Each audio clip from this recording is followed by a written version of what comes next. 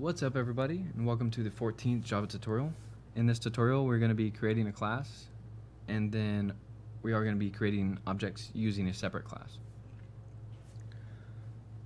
So the first thing you want to do when you're creating another class is have it accessible to your main class. So we have our main class right here, right? With our main method and we want a separate class. So in order to do that you're going to want to go to your source folder and then click new, and then class. Now in this video, we're gonna be making a bank program, and what we want it to do is make new accounts. So we're gonna name our class something relevant, account. Now that we have our bank program and we have our account class. Go ahead, change the view here. Okay, so what we're going to do with this account class is we are going to have it create bank accounts. That's what we're going to have it do. It's like similar to an ATM. So in order to do that, what do we have it do? We need to have variables. We need to have methods that are going to complete actions. And then also some sort of return for data so we can pull the data from it. Now, when you have a separate class within your main, or that's accessible to your main class, you're going to want to have variables, but it's a different type of variable, and it's called an instance variable.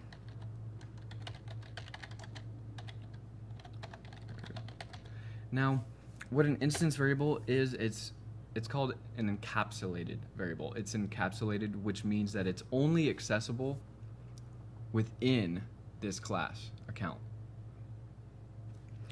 And in, in order, well, normally what we would do is just have string and name, right? So if we want to create a name variable, and obviously it's going to be a string, that's all we would do. We would initialize the type, we would set the name of the variable, and then either set it to something specific or leave it like that. However, in order to create an instance variable, you actually put you put private before it, and that sets the privacy of it. It sets it that it's encapsulated and can only be viewed by this class. So since we're going to be creating bank accounts, we're going to need a name, we're going to need an account number, we're going to need balance. Those are like the bare minimum to create a bank account. So let's do the same thing, private, and then for account number, we'll do an integer and just name it account num. And then also for balance, we will do private, double, and balance. Simple enough. So what we did there was create three instance variables within this account class.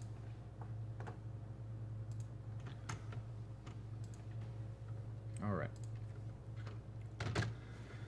So the next thing you're going to want to do is what every generally every class has, and it's going to be a constructor.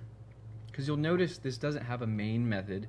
It doesn't have something that's automatically it's looking for. It's just a class. It's just, a good reference to use for a class is it's a cookie cutter. So what cookie cutters do is they're shaped a certain way and then you place them on cookie dough or some sort of baking and it creates the same exact replica over and over and over and over. If you have a star-shaped cookie cutter, and every time you use it, it's just going to create the same star. Now what a class is, it's going to be the same thing. It's, it's used as a very general and basic thing, and it creates objects of identical um, attributes would be the word. So now that we have our variables, we need to create the constructor.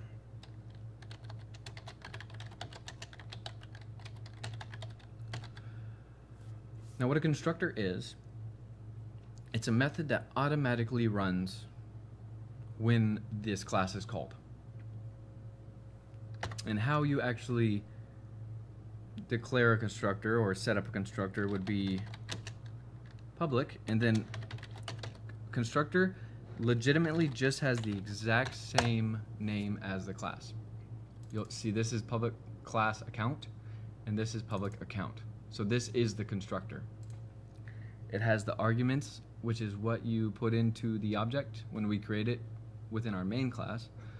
And then it has, within the curly braces, it has whatever actions you want it to take. And usually constructor is used to set variables and create objects, like set names, identify objects, set data of objects, something like that. So in the arguments of the constructor, you're going to have whatever information that you want to put in to create that object. So we're going to have a string, an initial name,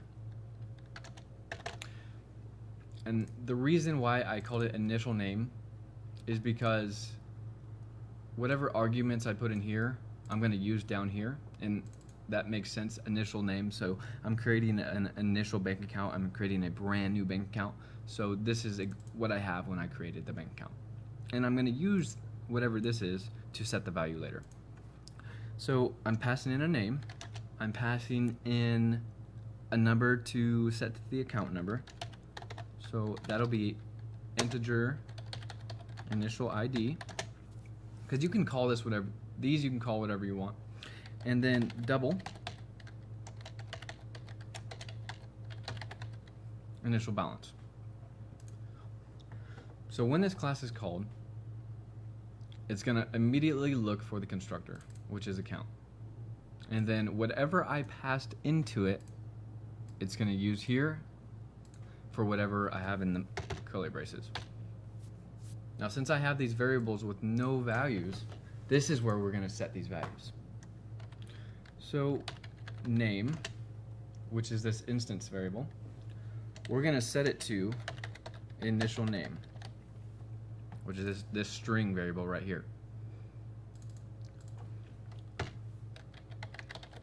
Account num, which is the variable I created earlier, we're going to set that to initial ID.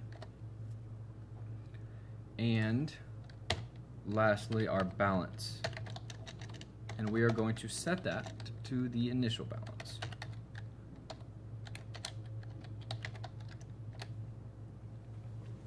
All right, so we have our variables that we created, our instance variables, and then we have our constructor. And what the constructor does automatically run whenever this class is called. So, and it, it's basically, it's, it's the same cookie cutter reference. So every time I call this class with the info that I pass into it, it's gonna create an object with a name that I pass in, with an account number that I pass in, and with the balance that I pass in. And one more method that we're going to create is just going to be public double. And we just want to get balance. Now that may not make sense for right now, but I can explain it later. Return balance. And this is ba basically a getter method, so it's going to return the, the balance of the object. Alright, and that's all I'm going to have for this video in the next video, I'm going to continue with the main class and then we're actually going to start building the objects. So thank you for watching this video and I will see you in the next tutorial.